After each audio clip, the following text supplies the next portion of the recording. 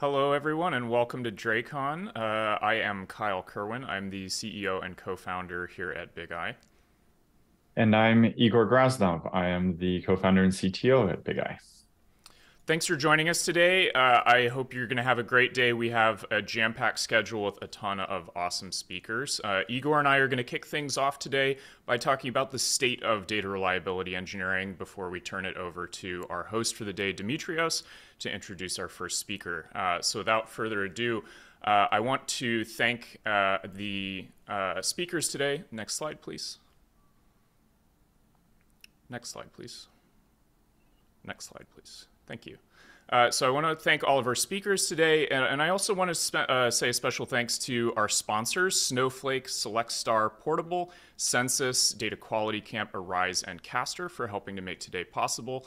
Uh, but on the next slide, uh, what I really want to do the most is thank all of you for attending. DRECon is for you. We've had over 2,000 people attend DRECon in the last couple years. This is our third year hosting the conference.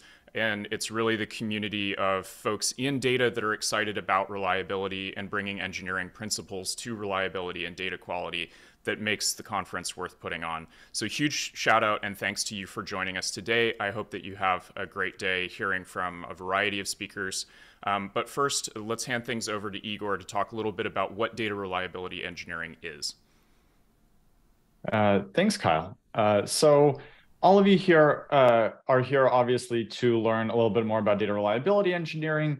And I'd love to open the show by talking a little bit about what uh, DRE is, how we got here, and where are we today, and where is the field going in the next couple of years, or at least where I would hope that it's going.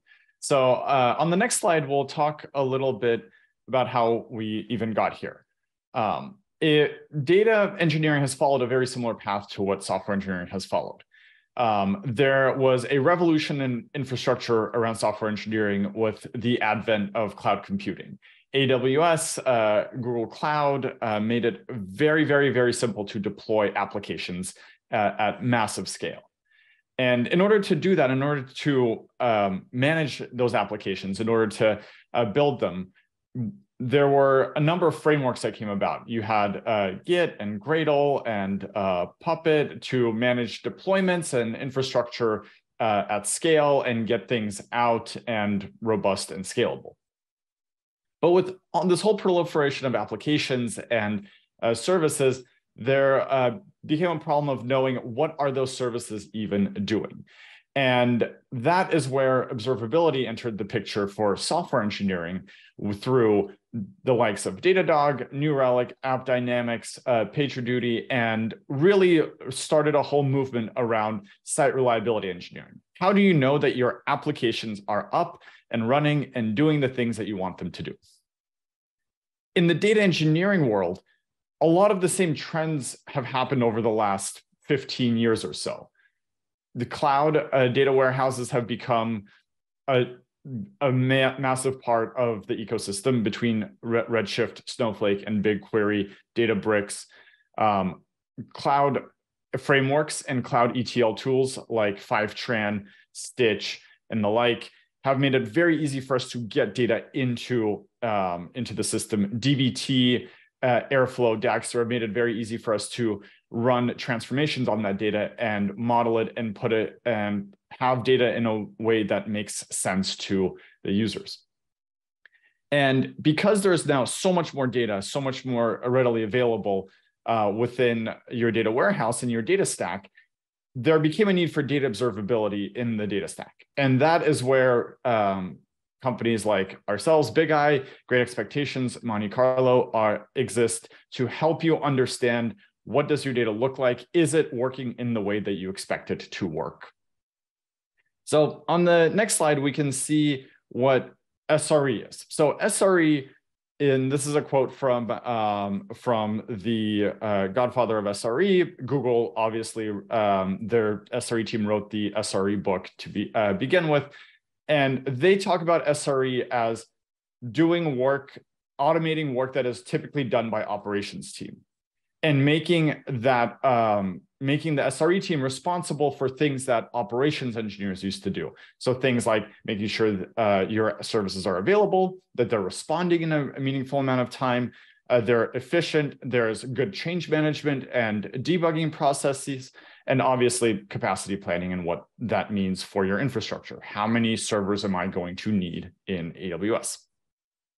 Now, on the next slide, you can see that DRE is a lot of the same principles around making it easier to automate what humans used to do uh, to make sure that your data is reliable, but turning that into tooling and turning that into processes that can be repeatable over time.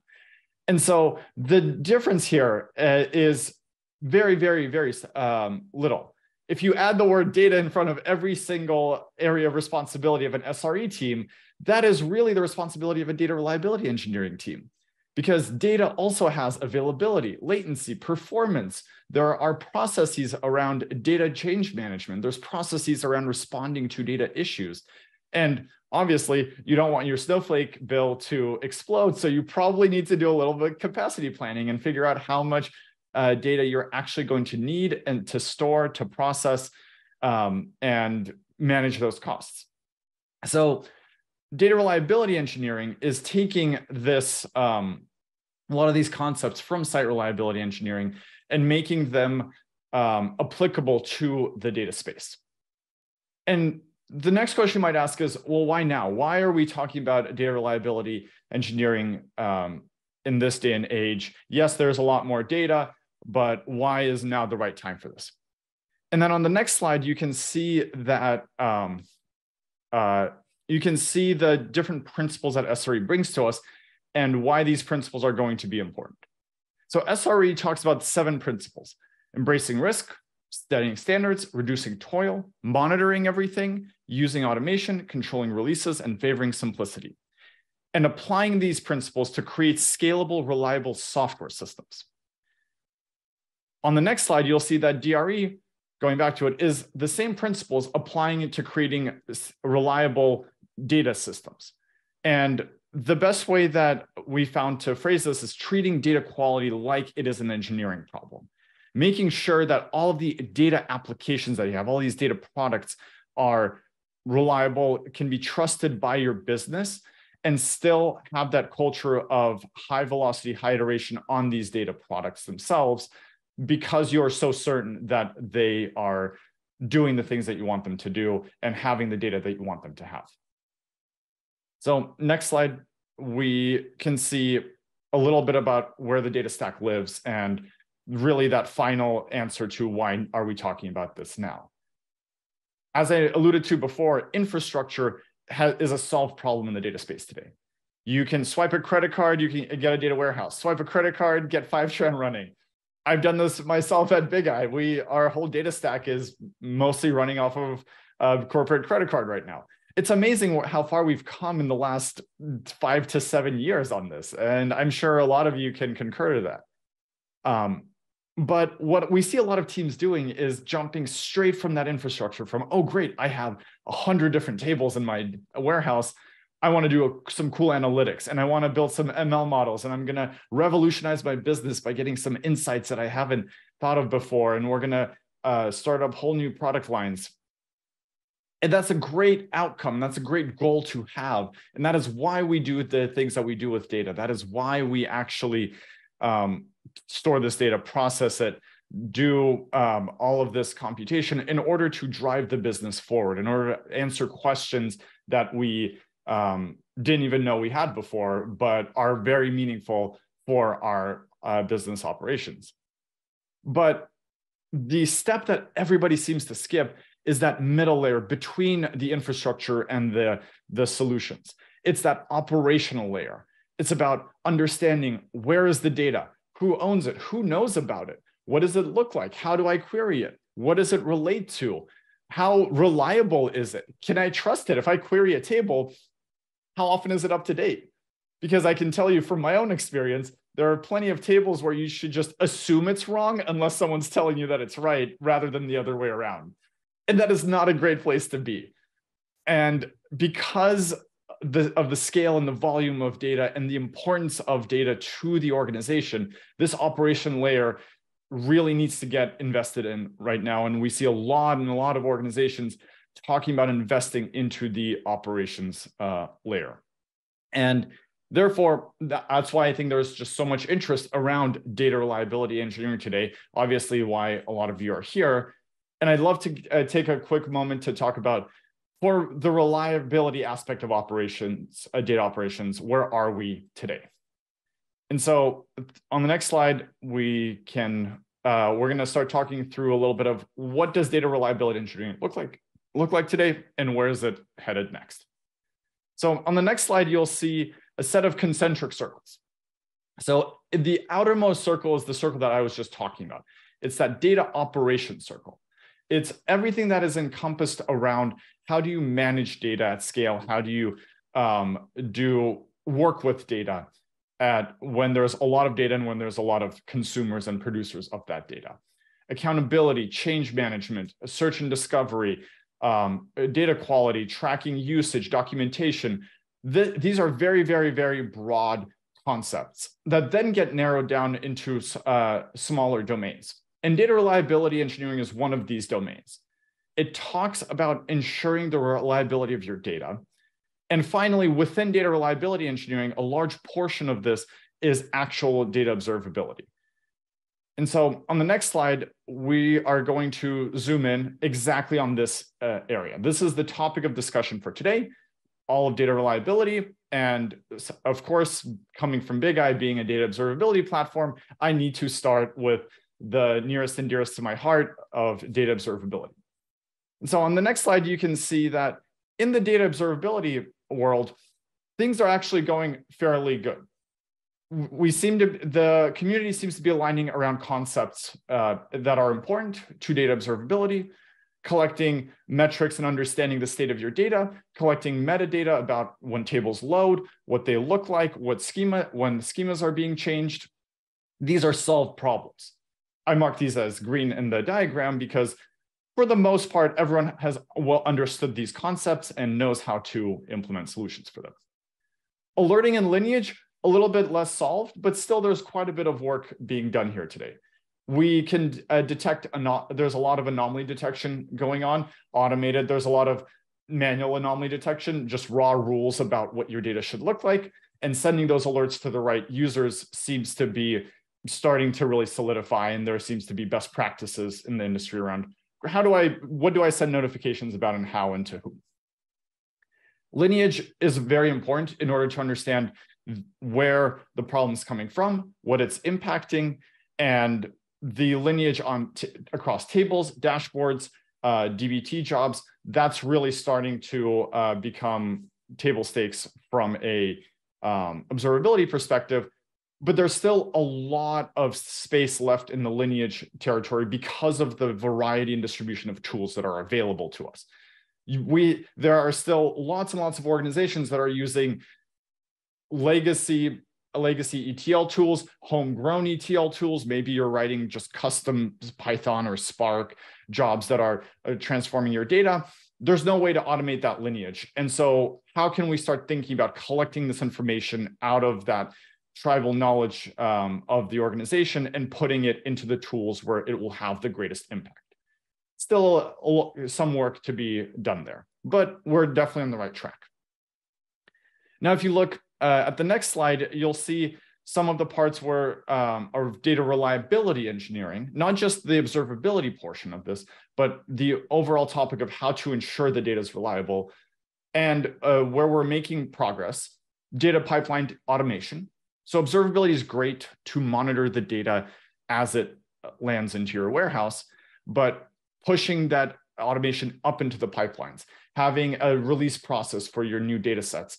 This is a concept that's starting to materialize. There's starting to be discussions around putting tests closer to the pipeline. Observability is uh, what, typically once it's uh, landed in the warehouse, how do we push things up? How do we create processes around deploying new data sets? How do we stop pipelines if something's broken? Your data pipeline might be five steps. And if the second one breaks, what do you do? Do you notify and stop? Do you notify and continue? Do you um, pull out bad records automatically. These are things that are still uh, up in the air. Also, data incident management processes. When something happens, what do, what do we do? As I mentioned in the alerting section, there are some core parts of this that are being solidified, but for the most part, what we're seeing is everyone in the industry has their own concepts of how to deal with data problems um, and what the process should be. So a, a thing to look out here uh, for are things like run books and um, data reliability teams that actually solidify these processes for the rest of the organization. And finally, on the next slide, we see the part that uh, DRE really, we haven't come a long way at all. And a lot of this boils down to automation. SRE talks a lot about automating the things that humans used to do. DRE needs to work on automating the things that um, analysts used to do, that data engineers used to do. How can we automatically backfill? How can we automatically uh, remove broken data? How can we uh, create runbooks that can be automatically applied by the orchestrator rather than by a human going in and writing some SQL? There is has been very little work done here, very nascent uh, space, uh, part of data reliability engineering, and also very, um, again, very niche to every organization. Different teams have different ways of um, automating, different levels of automation, different ways of automating their processes. And finally, the accountability portion of data reliability. What are my SLAs on my data pipelines? What am I committing to back to the business? There's a lot of talk nowadays about data products and treating data as a product. And products have SLAs. Product, I sign contracts all the time with our uh, customers. I saw as a, uh, customer of other vendors, I sign contracts that tell me this product will be available X percent of the time, usually 99.9. And if it's not, I can do something about that. I can, I have some recourse. That concept doesn't really exist in the data world today. There's no recourse the table's late, the table's late, and someone looks at you and says, Well, that kind of sucks. Check back tomorrow. And that's a really, really different place to be in compared to uh, where software is. And that is an area that I'm interested in seeing what starts uh, coming out of this as standards for building SLAs around data products uh, in the space so this is this is a little bit of a preview about where uh, we see the data reliability engineering space being, how it's developing, and sort of what's what's coming up next and what we're excited about. And with that, uh, I will hand it off to Kyle to talk a little about looking ahead on what DRE can be in the coming years. Thanks, Igor. So, as Igor mentioned, DRE is still in this sort of formational stage, and we see a lot of different practices when we talk to data teams. From you know, we've talked to folks in uh, financial uh, institutions, we've talked to folks at startups, we've talked to folks that are selling B2B software and building data to monitor pipelines for that. Uh, one thing that we're seeing is that across all these different teams, there's a desire to improve pipeline reliability, but there's still a lot of variety in how they're approaching that. Uh, so as we go to the next slide here, what we'll see is that DRE as a practice and as a process is about where SRE was 10 years ago. So if we just look at Google searches for these topics, we can see that uh, where we are today in search volume for the concept of DRE is about on par with what SRE was doing back in 2013. So literally a decade ago. Uh, so to Igor's point, like we're seeing a lot of forward movement on some topics and processes in DRE, and certainly a lot more awareness for it. Um, but we're really just at the very beginning. So if you you look at that blue line there, SRE has really taken off over the years, um, and DevOps is now sort of a, a foundational aspect of how software engineering teams work really, I think DRE is is basically at chapter one, kind of where SRE was back in 2013. Um, so I'm really hopeful about the trajectory for DRE in the future uh, and where it's going to take the industry of data overall and bring us sort of out of this, um, you know, early stage that we've been at where things are sort of duct taped together or there's that one person on the team that knows how to fix things and we'll really start to adopt these systematic practices that we've seen work so well on software engineering teams over the last 10 years. Uh, on the next slide, I know one thing that everybody uh, who's thinking about uh, these types of things is curious about, which is, is there an actual title for this, or is this just a thing that I do? Uh, and if we look at uh, our friends in software engineering on the upper left there, uh, it looks like our, our numbers got broken. Sorry about that. But uh, these are numbers pulled from a site that aggregates uh, pay for various jobs. You can see the links down there at the bottom left. Um, but these are collected from several thousand job postings, and we see that the average across the United States overall for software engineering salaries is just over $90,000. If we look at site reliability engineering salaries, it's slightly higher. It's $121,000, or just slightly less than that. If we apply that same scaling to data engineering salaries, which for the United States overall are averaging $94,000 per year, we should see a data reliability engineering salary in the future that mirrors the same relationship with the site reliability engineer. And that should, based on the data engineering salaries today, be somewhere around $125,000, $126,000 per year. Now, why is that? It's because of the scarcity of the role, and that's why I think today's content and everybody who's doing the work to push this uh, this concept forward in the industry, we're creating today what is going to be the SRE category of the future for data teams. Um, and I think as, as we look to software engineering and the increase in salaries for the folks that do this type of work on software teams, I think we'll see the same thing in the future for data reliability engineers as well. Uh, so with that, uh, I want to wrap up our talk today about the state of data reliability engineering. Uh, welcome to DRECon. Uh, I hope you have a great day hearing from our speakers. And with that, it's time to hand it over to Demetrios, who's going to be our MC for the day. Hey, yo, what's going on, guys? What's up, Demetrios? How's it going? I did not realize that it was a collared shirt type affair. I kind of went a little bit more casual per se. I was I was second guessing myself this morning. I'm like, Bigeye hoodie, collared shirt. I went with the collared shirt. It's a classic. Yeah, and I'll send you over a pink headband so you know for the next one. You can rock this. I mean, while we're on the topic of dress code, and the theme of what we're wearing. I showed you this before we started. I'm wearing this in honor of the event. Let me see if I can move this. Hold on.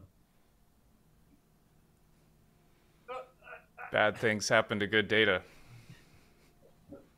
Bad things happen to good data. It's true. So, exactly. I felt like it was only right to wear this shirt with you all today because ain't truer words been spoken then bad things happen to good data.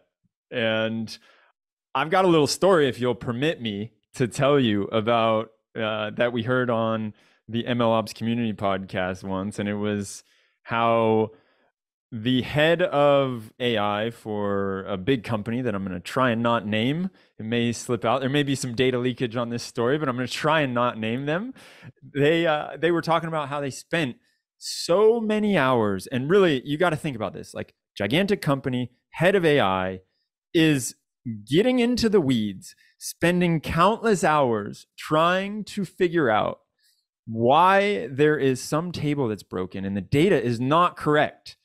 Turns out that after they debug it, which they had to go to every single person who had ever touched the data and figure out what what is going on, why is this not matching up because the numbers of the revenue were off and they're sitting there going like what is going on with the revenue? The finance team has one number and then the marketing team has another number and it's there's a big difference. There's a discrepancy there. They figured out what it was and I, I imagine we could probably poll the audience and they could give us some ideas because potentially they've had this same scenario before. But i'll i'll jump to the to the ending. As not to bore you and wait for you to guess what it was but there was a problem because somebody was typing in revenue in Canadian dollars Classic. not in American dollars and they couldn't catch it. For the life of them they were all looking at it saying like this is both in dollars. What's going on? There's there's dollars here there's dollars there. It wasn't they they just couldn't figure out that there was those Canadian dollars on the one. So I mean, you all probably have a million stories like this, huh? I think the the dollars currency conversion that's got to be a classic. If you if you haven't seen that before, I mean, you're going to at some point.